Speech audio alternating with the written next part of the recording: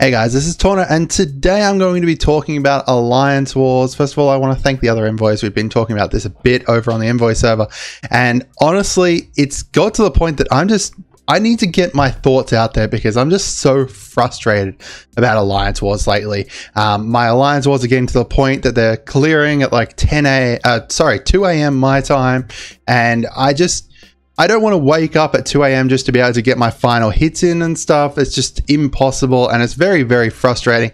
It means that Alliance Wars are over by the time I even wake up. There's just, it's it's got to the point that things are just kind of getting a bit ridiculous in my opinion. So, Alliance Wars are currently just about speed instead of skill predominantly. You can just throw more uh, throw more characters and throw more um, squads at things to just kind of get it over and done with. And they've decided who kind of gives up their sleep schedule at times, decided on who kind of lines up with that time zone and stuff. I mean, my alliance war starts about midday my time, so I can get a lot of attacks in. I can get uh, until like midnight. I'm usually awake until then.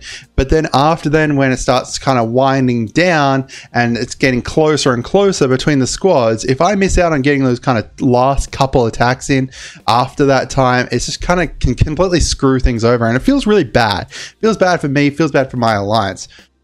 As I said, they're kind of over within those four first 14 hours because people can just kind of chuck stuff out. And failed attacks are just mattering less and less, seeing as we have just so many good war offense squads now. Um, it doesn't matter too much if you don't completely clear something to begin with because someone else can just chuck something else at it. It's not about skill, it's just kind of about who you have available and stuff to just kind of chuck at it. So First of all, I wanted to talk about a couple solutions that I disagree with. I'm not saying they're necessarily bad or they won't work, but I do think in the long term, I don't think that they're kind of completely going to solve the issue. So the first one is making Alliance Wars shorter.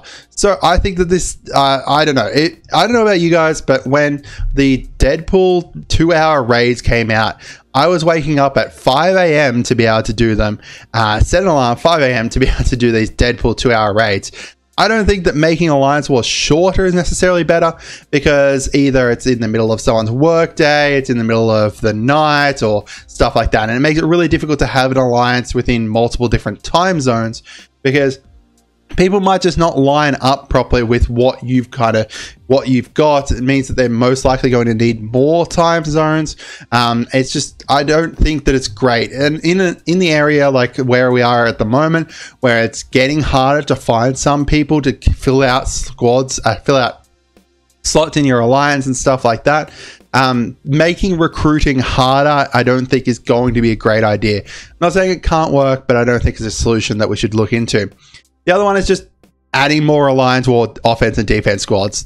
Think about it with when they added Emma Marauders. They were really tough to beat for a while until people kind of figured out what they can do. They've got X Force they can use. They've got Fantastic Four.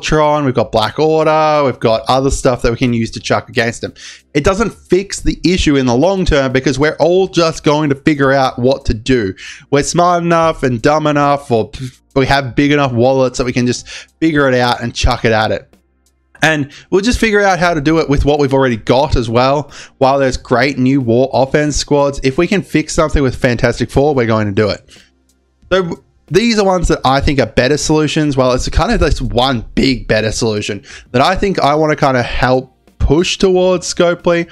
Uh, I know there's a few people that kind of disagree uh, with that do agree with me. Um, so I'd love to hear from you guys what you think as well making Alliance Wars about efficiency instead of speed. Star Wars Galaxy Heroes, I think, has a really great idea.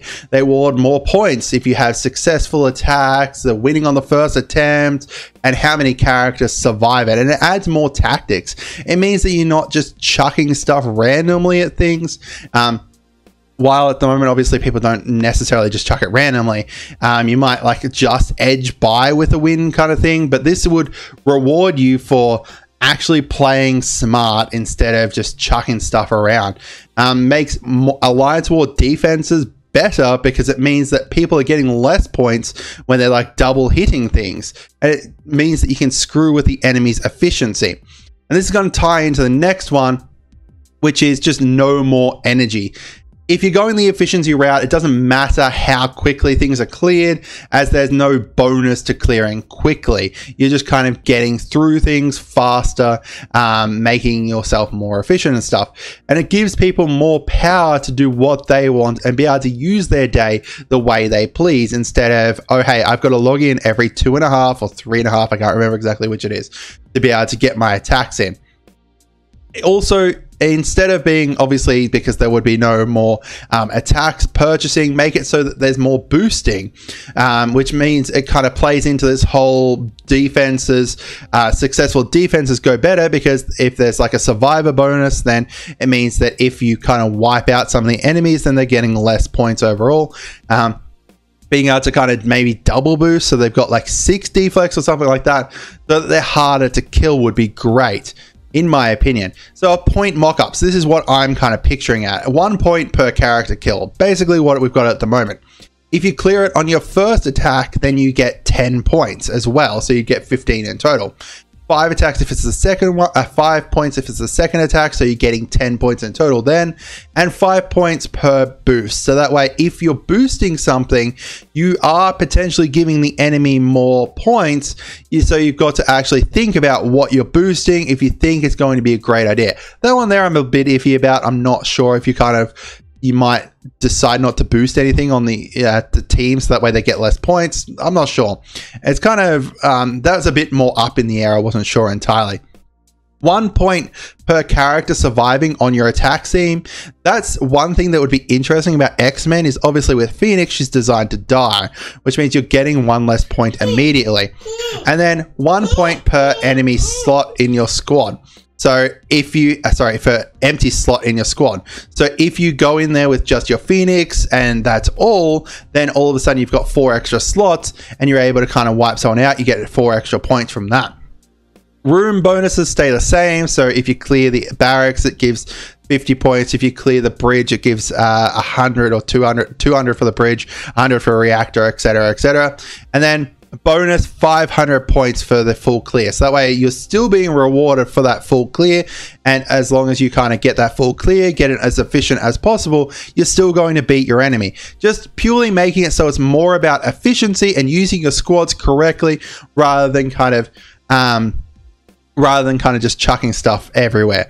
Um, the other thing is that obviously with this, I'm not sure about armory and hangar and stuff because obviously they affect the enemy squad, uh, whether they kind of keep them the same. Obviously, if they've got the no more energy, then maybe they might change it so that way it's not still a race to clear that. But I don't know, it's kind of a little bit up in the air there. So let me know what you guys think of that as well.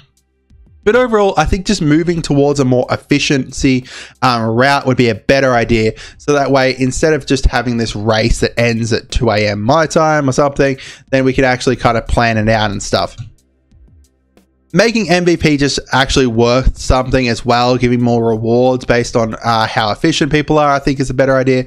But that's something that I'm kind of a little bit iffy about because I don't think they're going to give more rewards. While something like making uh, it more about efficiency, I think overall it's just better for them as well because it means that people are going to be investing in defense teams more because it means that you're more likely to be able to get rid of them getting this extra first clear attack, uh, first attack clear, and stuff like that. And then finally, room upgrades. Room upgrades are currently just kind of stale and they've been the same way since the launch.